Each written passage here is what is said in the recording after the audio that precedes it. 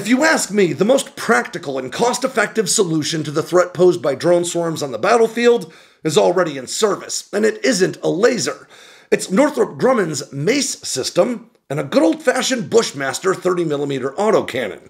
Now, lasers or directed energy weapons are often touted as the answer to the threat posed by drones. But until there are some significant breakthroughs in power generation or at least power storage, the value these directed energy weapons can really provide on the battlefield will remain limited for some time.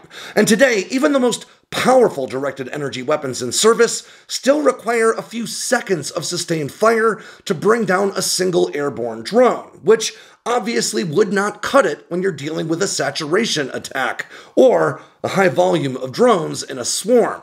And that is where MACE steps in, which is short for Mobile Acquisition Cueing and Effector System. This modular system is designed to be carried in the 8 foot truck beds of any standard pickup truck or tactical vehicle. And it includes a deployable tower that houses a powerful 3D radar, electro optical infrared sensors, and a global positioning system to orient that M230L Bushmaster cannon directly at targets in the air. Now, the M230LF Bushmaster, or the Army equivalent, which is known as the XM914, is a 30 millimeter chain driven cannon that's effectively the same weapon you can find in the Apache helicopter gunship. Now, this weapon fires large 30mm rounds at around 200 rounds per minute, or roughly 3 rounds per second, each of which can be guided by that MACE 3D radar and electro optical infrared targeting system.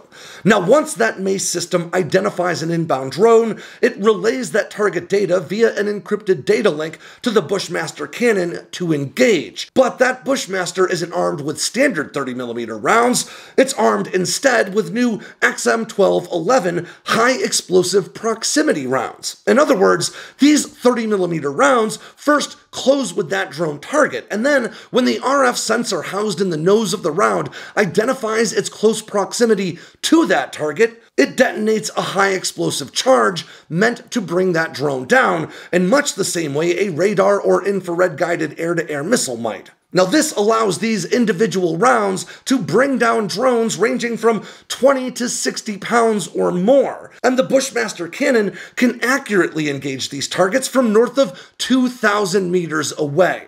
Now, that's roughly 6,500 feet or about 1.2 miles. Now, that mace antenna can be deployed in under two minutes, and because of the rate of fire in that Bushmaster 30mm cannon, you could engage a maximum of, theoretically, three targets per second as long as they were close to one another. But you could also tie multiple vehicles with multiple weapons into that same mace architecture, allowing you to engage multiple targets per second continuously. Now, these systems are already in service for the US Army, and in fact, some have even already made their way to Ukraine. But as development continues on this effort, it's only going to get more capable, and eventually, we will find ourselves in a position where we have effectively guided kinetic solutions to drone swarms like this that don't rely on generators that can produce megawatts of electricity, and instead can just be loaded up with fairly inexpensive ammunition. Now, eventually, directed energy weapons may well step step in for that Bushmaster cannon, but they'll still